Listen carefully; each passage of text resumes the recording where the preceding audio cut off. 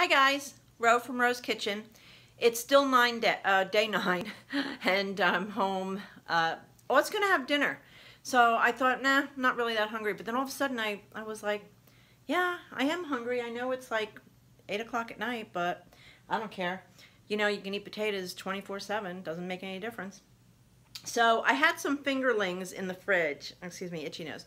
Had some fingerlings and decided I don't know what to do with them. So I cut them in half lengthwise and I boiled them a little bit, three quarters of the way.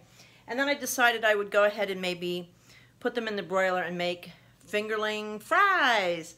So here they are. Take a look. Look how nice and brown they're getting. Can you see that okay? Bring it out. They're getting there. They're not quite done yet for me. I like them extra crispy.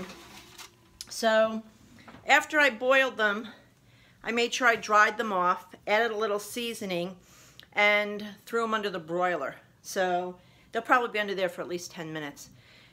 So that's day nine dinner. Fingerling potatoes. Didn't have those in 10 days. First time for the, those. And uh, that's it for now. So I will see you in the morning. We'll have our morning, uh, almost like our morning coffee together, except I don't drink coffee right now. And uh, have a great night. And thank you so much again for watching. God bless. It's a pleasure talking to your friends. Bye-bye.